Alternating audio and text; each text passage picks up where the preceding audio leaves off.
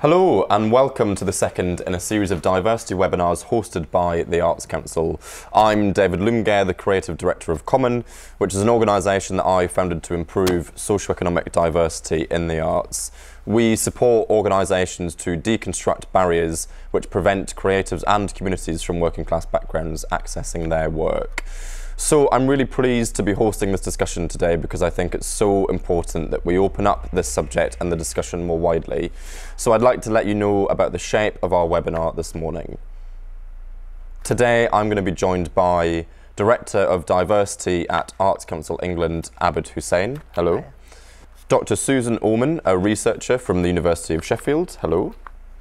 And later on, we'll be joined by Kate Danielson, Director of Weston Jerwood Creative Bursaries, Michelle McGrath, founder of Museum as Muck, and Matthew Xia, Artistic Director of Actors Touring Company. We'll be discussing toolkits, practical solutions, and research, and we'll also be hearing from you. We've been collating questions in the run up to today's broadcast. And if we don't manage to get to yours in the session today, we will come back to you directly. So please do keep sending them in via Twitter. So, firstly, Abid, why this topic and why now? Thank you. Uh, we've been planning to do this work for a while. It's an important piece of work for the Arts Council, but also something which is quite important to me personally. Uh, so last year I wrote a blog to introduce the work that we were planning to do and it was very much written from that personal perspective of growing up in a working class community in Birmingham. Our definition of diversity at the Arts Council uh, includes socioeconomic background and class, but historically we've always captured data on protected characteristics under the Equality Act. So this is an opportunity for us to really address that imbalance and to get a bit more insight into the socioeconomic status and class background of people who work in the sector. Thanks for that, Abid. I think it's really valuable context for the discussion. And now we've got a short film from Kat Hammersley and the Arts Council's data team to share with you.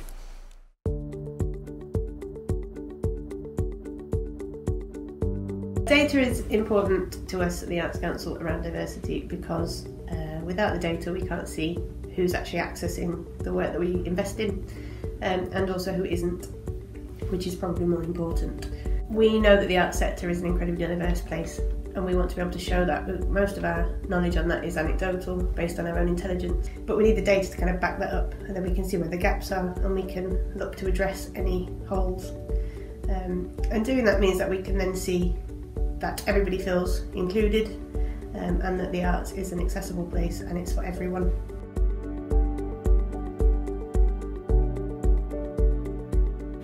by making some changes to the annual survey, um, more than anything, will open up conversations.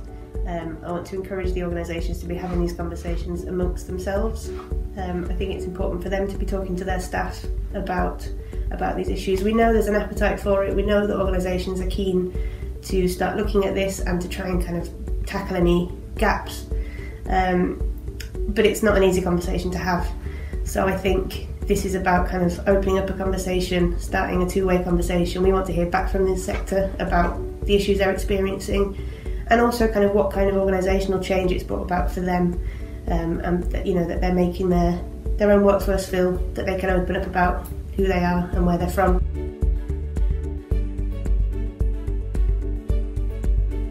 If any NPO is struggling with how to ask this question, um, I would say just be honest and open with your staff about why you're asking it. As long as you understand the reasons for why you're asking it and what you want to do with the information, you can make people feel reassured, reassured about answering it. Um, I think that's true of all kinds of diversity monitoring.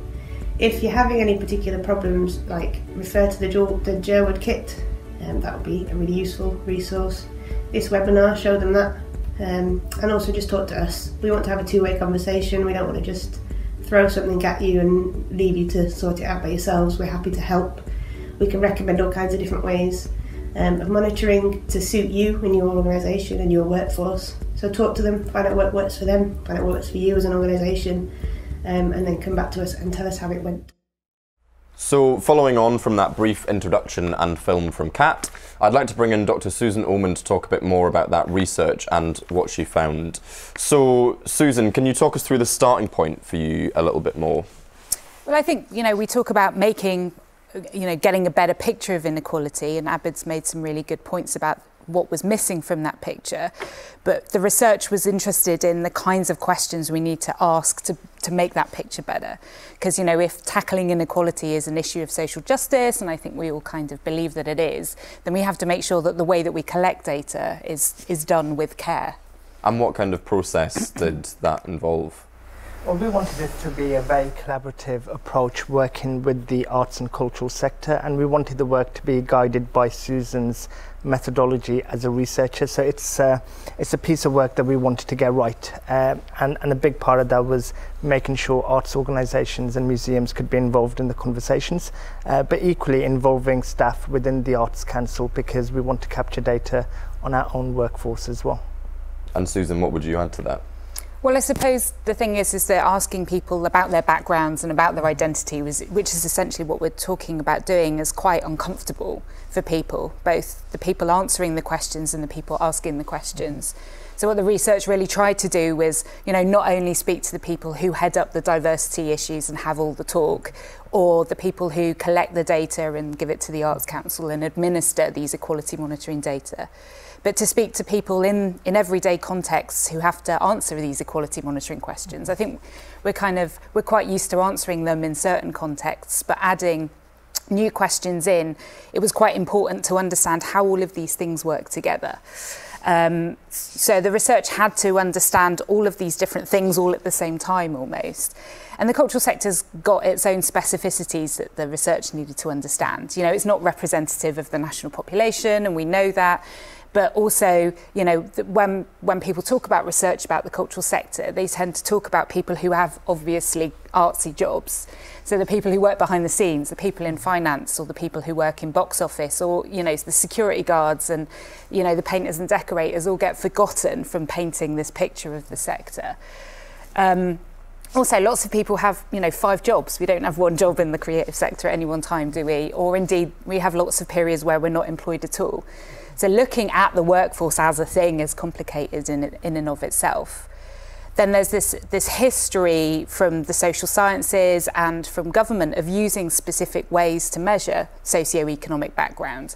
Um, and even though the arts haven't necessarily been using them, these measures exist. There are longitudinal data sets, and you know we need to collect robust data that kind of speaks to that. So that's why what the research tried to do was trial these established questions that have been around for half a century, some of them, together with things that were tried to be more nimble and more appropriate to the cultural sector to see how people felt about the questions themselves, like how did they feel answering these questions. And actually, as a result of that, we opened up a, a wider conversation about what class is and what it means and how we should be talking about it. And I know from my own experience that those conversations can be quite challenging, to say the least. Um, so, what approach did you end up taking on the basis of starting to ask those questions? Uh, I suppose the only thing you can do really is give people space to talk honestly about their own experiences. And I think that, like the previous work on the sector that's talked about how the sector is struggling with the class issue or struggling to talk about it, has tended to kind of assume that everyone doesn't want to talk about class because they're quite privileged. Whereas actually what came out from my research, from like, you know, speaking to hundreds of people in the sector, was actually people lots of people who work in the sector, who work in NPOs, have lost the language to talk about class. They felt that talking about someone's class made them judgmental and they kind of had to get over that. Um, so that was kind of one of the key findings. Another thing that came out of the research was, of course, actually that people didn't necessarily understand what these questions meant. So asking someone, you know, what was your parents' job when you were 14, out of the blue, can feel quite jarring. Um, it can feel quite alien. And so what um, what the research intended to do was kind of pull this apart a little bit, understand what, what was uncomfortable about these questions, what was uncomfortable about the class conversation, and kind of open it up a little more. That's great. Some really useful insight. And so, so Abid, now that Susan's completed and published the findings of that research, what are the next steps with this conversation? It's, it's been brilliant to kind of have Susan talk us through the process that we've been through. So for me, it's now moving from that research phase into data capture. So from April next year, we're going to be asking our national portfolio organisations to provide data for the first time on socioeconomic background. for their workforce and their leadership. And then what we'll do with that data is once we've had an opportunity to analyse it, we'll publish it as part of our next equality, diversity and the creative case report, which will be published in early 2021. That's great news, and I think an evidence base is a really good start and definitely feels like a step in the right direction. So we'd like to turn our thoughts to what organisations can be doing around recruitment right here, right now. Before we speak to Kate from Jerwood Arts, we're going to show you a short film from them on the work that they do. If you don't see people like you involved in the arts, you will automatically think that the arts isn't for you. Since 2010, the Weston Jerwood Creative Bursaries programme has worked with 110 of the UK's leading arts organisations. From across the UK and across art forms to kickstart the careers of 124 people from lower socioeconomic backgrounds. About 14% um, of artists are from a working class origin. The programme supports people at the start of their careers to get in and to get on.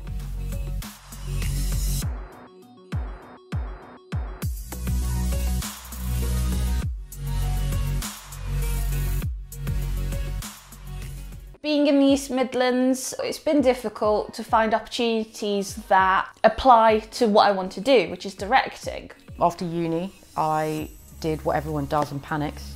And I kind of quickly realised that it wasn't as straightforward as I kind of previously envisioned. I think going through university, you know, I had to sort of act a bit middle class my Birmingham accent isn't very strong these days, all these things to sort of fit in. I was doing a job that I definitely didn't think that I could do and I was terrified that someone was going to point me out and go, she's not supposed to be here, who, who let her in? I am surprised at the lack of working class voices uh, in the arts. I remember at the beginning in the application process, some people said they would never have applied for a role like this if it hadn't been specifically targeted at them and their background. How you frame an opportunity makes a huge difference. You always think of that one person that give you that your head start and like give you your chance and for me that was sort of Weston Jerwood. Being part of the cohort was uh, was amazing. It's the best opportunity that there is. It's important that institutions themselves uh, take responsibility to change and to be more open uh, and more diverse, both in class terms, but actually in terms of things like ethnicity, gender and disability. Looking back at how I've got from, you know, being this kid in Kidderminster, working behind the customer service desk in TK Maxx, uh, to being the first person to do a degree in my family, to fast forward eight years and actually now being artistic director of Fierce Festival. It's really all down to having that uh, Weston uh, Jerwood Creative Bursary at the Live Art Development Agency. It's really uh, transformed everything.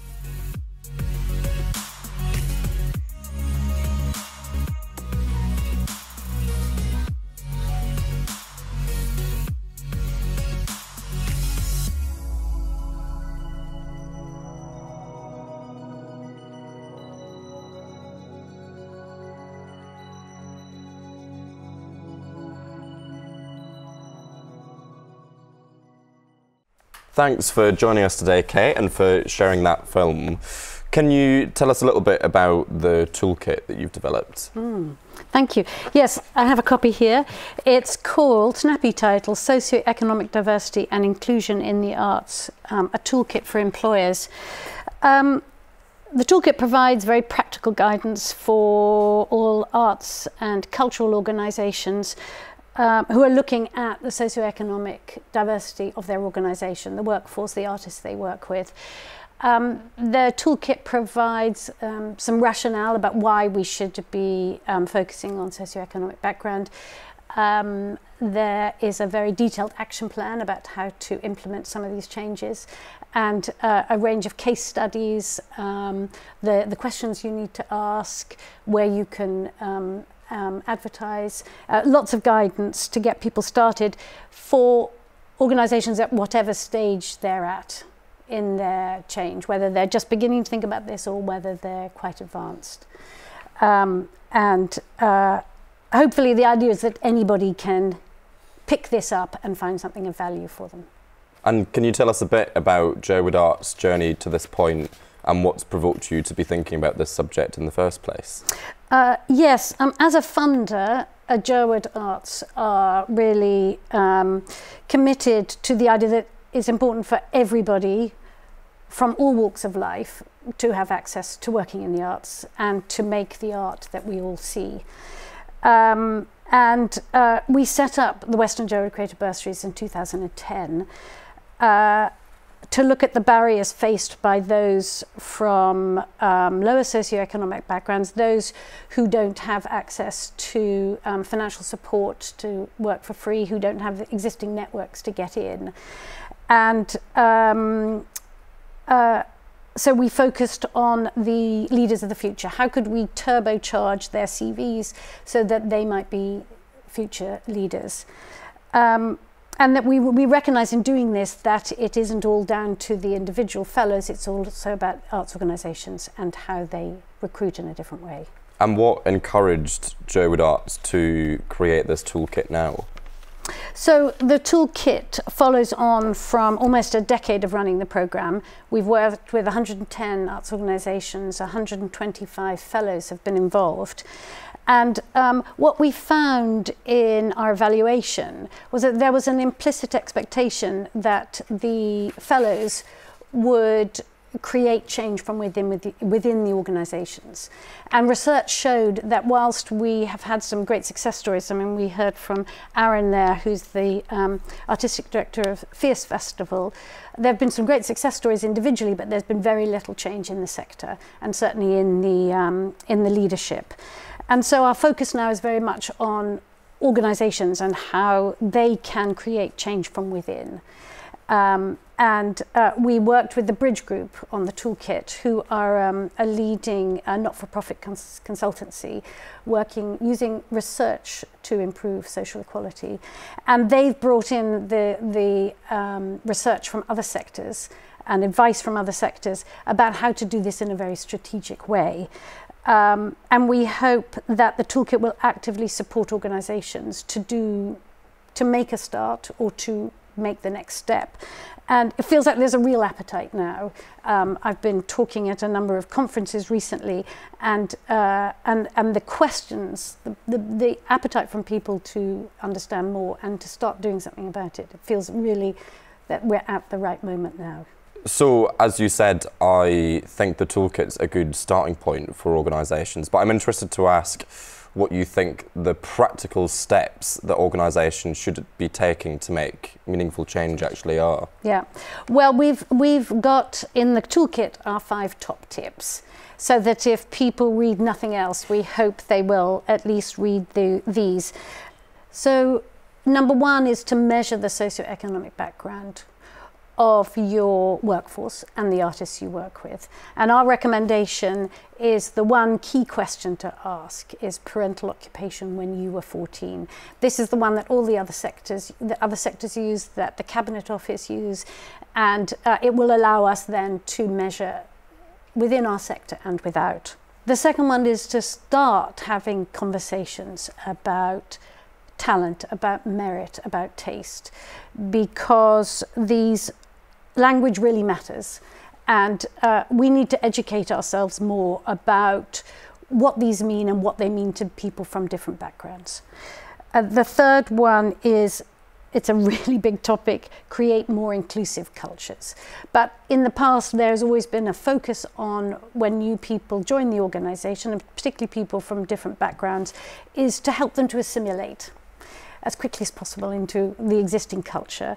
But what we need to do more is to accommodate people from other backgrounds so that they instantly feel comfortable or can enable them to, to feel comfortable as quickly as possible and where we start adapting to their um, values uh, more. A fourth one is ceasing unpaid and unadvertised opportunities of any sort because everybody you let in through the back door is disadvantaging somebody without those networks. And the fifth one is the most powerful change that people can make within organizations is to change the way you recruit, change your practices.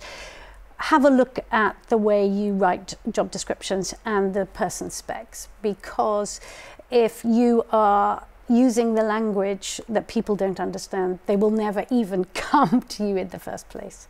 I think those are some fantastic actions for organisations to start embedding, especially beginning to measure socioeconomic background and just stopping unpaid or unadvertised jobs and internships.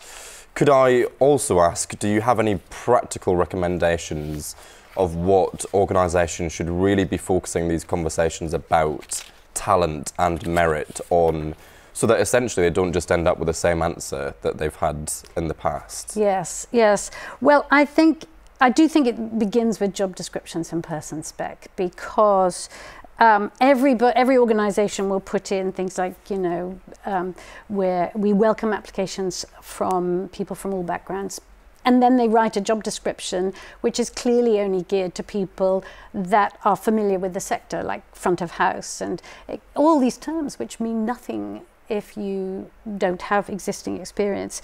And, and then we talk about passion. You must have a passion. Well, what does it mean? What does a passion mean? Is a passion something that you gain from having been taken to the theatre by your parents all through your childhood and doing an amazing internship in New York? Or is it about somebody who's found arts for themselves without any um, parental or, or family support? So I think um, we need to ask more questions, invite um, other ideas about how you might talk about uh, jobs in a way that is applicable to people that have come from completely um, completely different sectors. And then I think that gets people thinking more about their internal cultures. Is, is who do you have at the meetings? Who makes decisions? But, but unless you are including them in the conversations, nothing will ever change internally. And so, following the toolkit, what are Jerwood Art's next steps? Ah, yes. So, we um, earlier this month we've launched the fourth edition of Weston Jerwood Creative Bursaries. We are currently open for applications from organisations, all arts, cultural organisations across the sector, to apply to create a year-long fellowship which is attached to their artistic leadership or cultural leadership, and also to take part in an 18 month organisational change programme. Um, go to the Jerwood Arts website and it's open until the end of January. Fantastic. Thanks, Kate. I think all of what you've said is really useful advice for the audience to be thinking about, and definitely one for organisations to be looking at with that opportunity. So, as brilliant as research, measurement, and practical toolkits are towards tackling this issue, I'm keen that we put these into context around the voices and the lived experiences of those who are actually experiencing the inequality to understand why it's so important that organisations take this need for structural change so seriously. Now we're going to be joined by Michelle McGrath and Matthew Xia. We've heard a lot from an organisational point of view, so I think it's a good time to talk about it from a personal experience perspective as well. So I started Common because of a really challenging string of personal circumstances and really significant barriers that I was facing in my own career as a working class director, which meant I was on a real knife edge about whether I could keep working in the sector. And then I realised that there were so many creatives from similar backgrounds to my own with their own version of that story in the industry, but that nobody had offered them a platform to share those experiences, let alone any meaningful support being offered to support their career development. So, on the back of that, I'm really interested to know about how you both got into the sector. Michelle, could we start with you? Yeah, sure. Um, so, coming from a benefits class background rather than um, you know, working class. There were no working people around me. Um, I didn't have any work role models. Um, I found myself going into teaching. I think because it's you know an obvious profession. If you look around, you don't have that um, in your immediate family, but you see these public roles. Um, and then when I was in teaching, I really found an affinity with, you know, creative ways of learning. And then um, through that, you know, explored museums and galleries as spaces to do that. Um, and then essentially 12 years ago, I just kind of started volunteering, as a lot of people have to do, and just worked my way up um, to, you know, now head of education and learning at an arts organisation. Right, and, and Matthew, does that strike a chord with your experience? I guess so. In that, that I kind of came, I was I was born into poverty, um, and within that, and I guess some of the kind of circumstances around that meant that I, I was uh, a bit of a naughty kid. Maybe that's how we should put it. uh, but luckily, I found Theatre Royal Stratford East. That was my local theatre uh, with this huge legacy of kind of empowering working class communities. You know, Joan Littlewood revolutionised British theatre. Um, and so that was the space I was walking into, and I felt incredibly lucky actually to walk into a space that empowered me, gave me a voice, a platform, told me I was an artist. Um, and I think without you know, without a formal education, actually, what Stratford East offered me was a form of education. Uh, it, it, a craft, a sense of what it meant to exist within a sector. As a bit of an incubator, and by the time I left Stratford East after, you know, I joined the youth theatre when I was 11 and left at 28, having done lots of different jobs within there, um, I guess I was on my way to to artistic leadership by that point. Um, but I'd say it was people actually uh, within those organisations who empowered me and gave me a voice. So Philip Hedley, the artistic director, Danny Braverman, head of the education department, um, who invested belief, I guess. I think from what you've said about Stratford East, it might sound bold, but it feels incredibly rare to actually encounter an arts organisation that has such a strong relationship with its community, like you said. And so, because that experience is so rare, I'd be interested to ask both of you what the barriers that you encountered either at first point of access or later in your journey whilst you were working in the sector. Um, so barriers. I mean, there's there's uh, numerous ones, and I, I think that when we think about class, often people really focus on financial barriers, which we must do. You know, it's it's it's key, but also. Um, a lot of the time, unless you have that lived experience, you, people or organisations don't necessarily consider um, the, the the social and cultural barriers that that we can experience. So, you know, not having um, those networks or connections into the arts sector.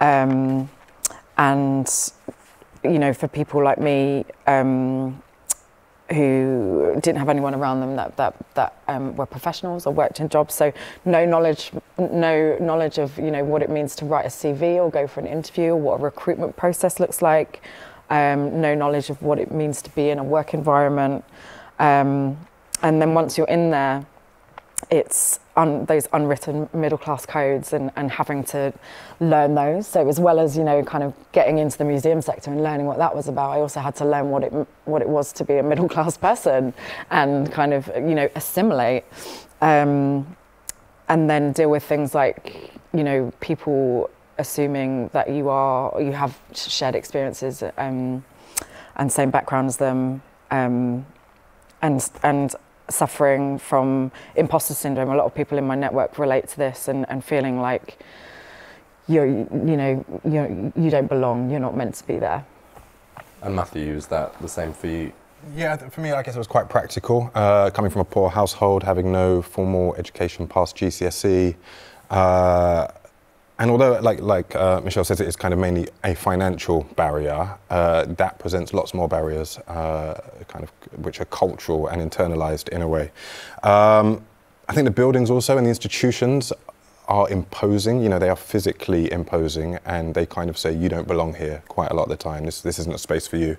Um, and then again, I guess it's that lack of awareness around what the pathway is. How do you forge a career in the arts if if you know, the two people in your house, one is one is on benefits and the other one is a kind of carpenter and joiner working for the, local council. Um, I guess I guess they're the struggles that, that people come up against. I think also there were probably kind of for me perceptions around my class and ethnicity, so a kind of intersectionality that became a, a barrier. So I think that point that you've just made is really important about intersectionality, the relationship between your class and your ethnicity. Can you just unpick that a little bit more? Yeah, I guess for me, there are kind of um, expectations around the sorts of stories I would want to tell, or could tell, or felt empowered to tell.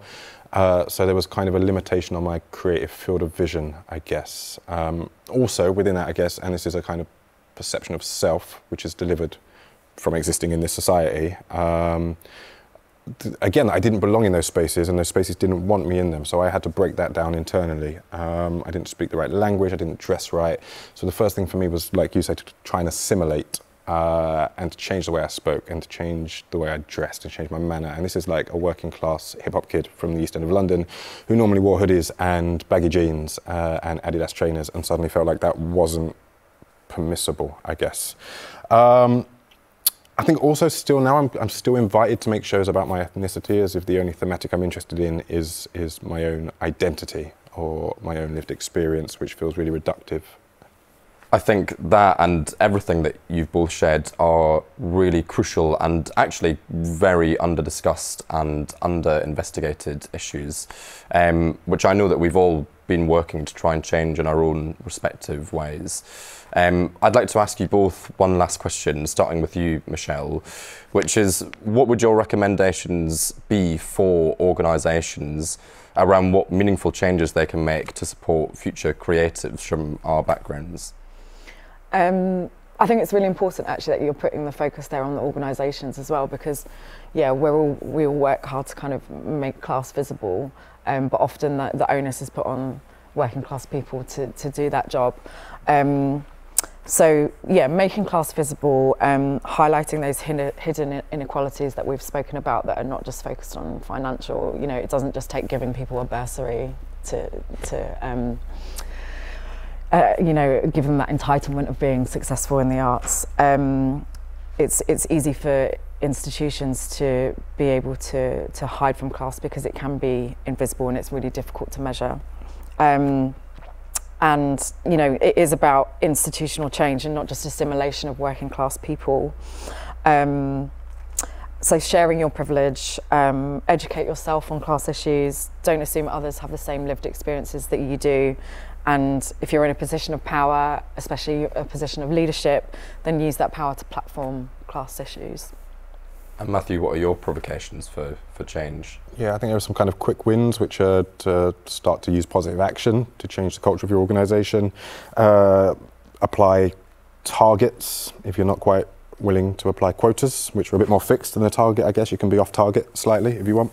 Um, I think we need a shift in the language and culture of institutions around the idea of diversity. What is it we're really looking for? And I think that's actually a kind of diversity of lived experience, uh, cognitive diversity or diversity of thought, which which I think tends to come from being born into a different set of circumstances and living that life with those protected characteristics. We can decodify the language. I think uh, Kate was talking about that earlier on. So stop using language that alienates, that, that, people have to kind of look up in a dictionary to understand what a patron is uh, when you think you're just a ticket buyer uh, or an audience member.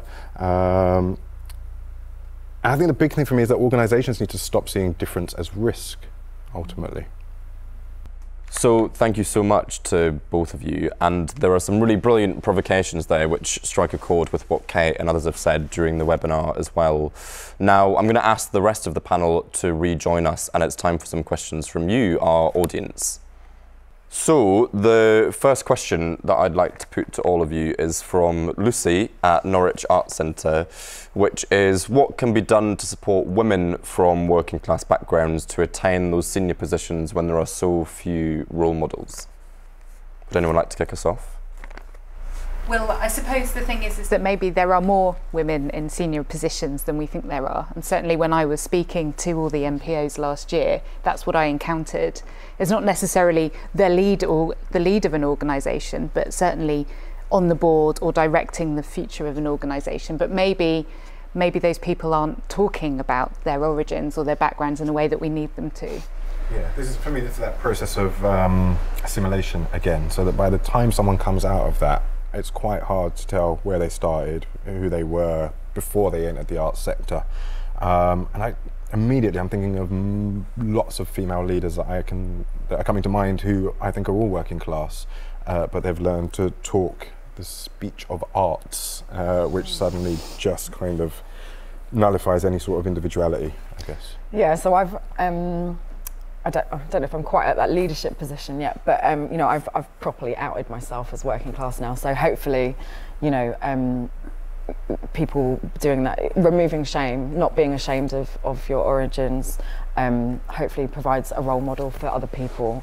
Um, but also specifically thinking about women, um, organisations need to um, tailor to their to their needs. So you know more women have childcare responsibilities, how they're going to adapt to that. Um, you know, what, what, what is your flexible working policy? Um, and really asking women what they need in order to, to be able to have them, you know, uh, start a career or be in an institution, have, have work in the arts sector. Mm. I, I think it comes back to what we were talking before about conversations. You know, all of this is conversations. It's conversations where people feel they can talk about the barriers that they faced and the way both of you have talked about it. And then also conversations about what people need in order to do their job properly.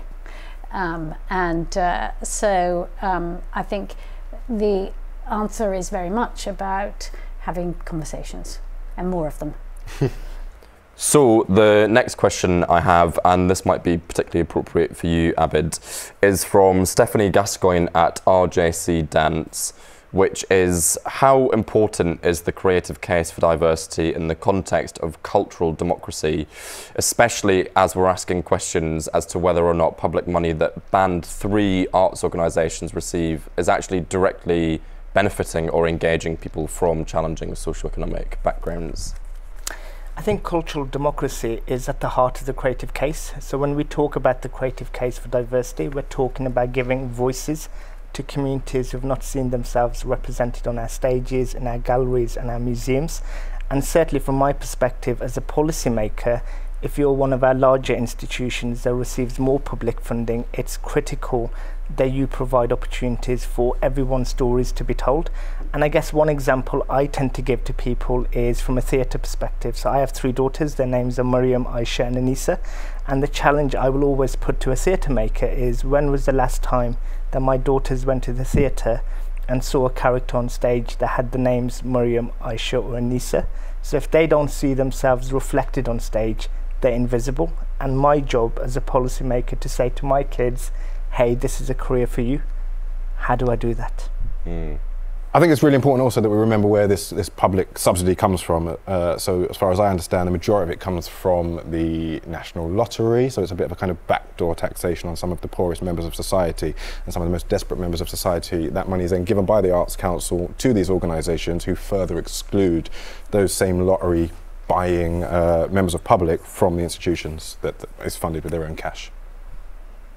As an Arts Council, we're distributing both funding from the National Lottery and government grant granting aid, and I think it's absolutely essential for us to make sure that funding reflects the communities that we're there to serve. And from my perspective, from the conversations we've been having with the sector and the general public through the consultation process we've been doing with the 10 year strategy, uh, one of the drivers for our work around equality and diversity moving forward will be about ensuring the organisations that receive funding from the Arts Council ensure that they're more relevant to the communities that they're serving.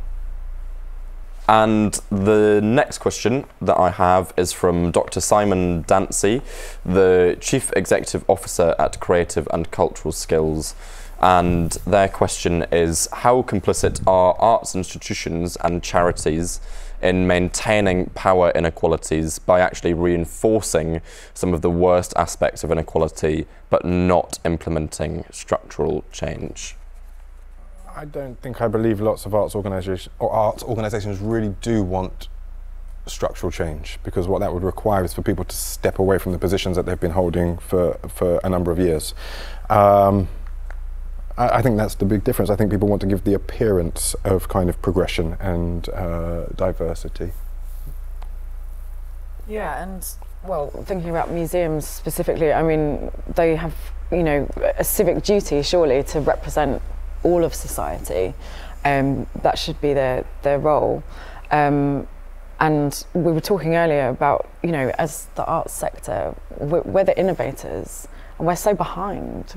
Like we should, we should really, we're, we're the creative people. We should be out there, um, really leading the way in, in change and progression. Well, I also think I've been having a lot of conversations recently about the performativity or the performance of diversity. That institutions always seem to be in the process of becoming more diverse, rather than actually simply being diverse and being mm. representative. So I think a lot of the, certainly in my experience with the conversations I've had through Common, my experience is that the the argument that a lot of these organisations present is that oh well we're in the process of or we are still becoming or we are continuing to deepen our conversations about which to me feel very jargonised and actually end up uh, recycling that inequality and just mm. repackaging it and representing it in a different but ultimately identical way. And I think that one of one of the issues of performing diversity like that is what you see is perhaps the opening up of entry level positions for people from different backgrounds or different ethnicities performing diversity, but essentially that it's not it's not feeding up. And the idea that eventually in 20 years time we might be more diverse as a sector well, that's quite a long wait and certainly isn't very progressive is it? So we're not supported by British employment law to make any of the actual changes we want to make. Because if you've been in a job for longer than your probation period it's kind of a job forever if you want to keep it that way and you can make it incredibly difficult for an organiza- organization to get you out of that institution um, unless they're doing restructuring. Uh, and this is a conversation I'm trying to have with a number of people to uh, to kind of go is is law fit for what the government and the Arts Council are asking the organisations to do? Because it, it, feels like there's a bit of a kind of a clash at the moment. So our next question is from Nicola Frost at Arts Council. And Nicola says that although problematic in their own way, I found volunteering opportunities at museums to be a lifeline for trying to get into the sector. But even then, there was undoubtedly a difference in volunteering opportunities for those in the know, tending to be curatorial and conservation posts, and those starting out with no foundation in the sector, which were usually visitor experience posts. So, Nicola's question is what can we do to truly open up entrance points into the museums or wider arts and cultural sector? Um, well, I think that in terms of volunteering opportunities, um, or in, in fact job opportunities, it's um, absolute having like an absolute blanket ban on non-advertised opportunities. Um, everything needs to go outside of the institution. Um, also, specifically, you know, in that language, who you're targeting, put that in in that that job description. Say to people, we are looking for working class people. Um, if I had seen that, you know, 12 years ago when I was volunteer, I, like it, it would have made such a difference. Um, and I know that there are other people who, who will, you know, it will give them that kind of confidence that actually, oh, they're, they're looking for me. Um, and then again, I think we need to remember that once we get people, you know, once we give people social mobility into um, organisations, we need to continue to support them. Um, so once you know somebody is volunteering, then make sure that you are asking them exactly what support they need. Are you matching them up with other working class people or working class allies in that organisation so they know they've got um, a network and a community around them? Um, and if we're thinking about museums specifically, obviously join the Museum as Muck Network. Mm. Can I say as well? Um, so in this um, fourth edition of Weston Jerwood Creative Bursaries, we are partnering with the Art Fund for the first time to include museums, which we haven't in the past, for particularly this reason that the Art Fund identified that there is a specific issue with a lack of socioeconomic diversity in, in museums and lack of access into entry um, level roles. So we are specifically encouraging arts organisations and cultural organisations to apply for um, uh, emerging curator type posts in the next edition of the programme. I think there's also something to be said about where posts are advertised. I think the sector's got really used to advertising posts in sector specific press rather than we want someone from the local community. They're never going to read some kind of symphony orchestra obscure magazine, mm. uh, probably can't afford to buy it even. So, thinking about how we advertise posts to a local community, if the organisation is supposed to be serving that community, mm. is one of the things that organisations really need to think about. yeah, and that's in our toolkit as well. it just there's a lot about. Uh, you know different places to advertise and posters in local community centres and yeah don't don't just think but I'll put it on arts jobs and and that's my advertising done. That's just going to get you the same people you've always had. I'm pretty sure there was mention earlier of just banning voluntary positions from the get-go banning intern positions that are, are underpaid or unpaid because that immediately creates a two-tier system of those who can afford to do voluntary positions and those who can't. So I, I would create that I'd take your blanket and turn it into a blanket ban on on unpaid positions. However, I think there's some very useful guidance um, by Arts Council and CC Skills about the difference between volunteering and and internships. I mean, I think there is a role for people um, volunteering their time for them to get the experience that they need, not to, to deliver a role that should be paid, but for them to get some valuable experience where it's, it's about what they can get out of it, not about what the organisation can get out of them delivering their, offering their time. But, it, it But feels- you have to. Time costs money, and, and when you're working class and you come from a working class background, that is your one resource you have. Yeah.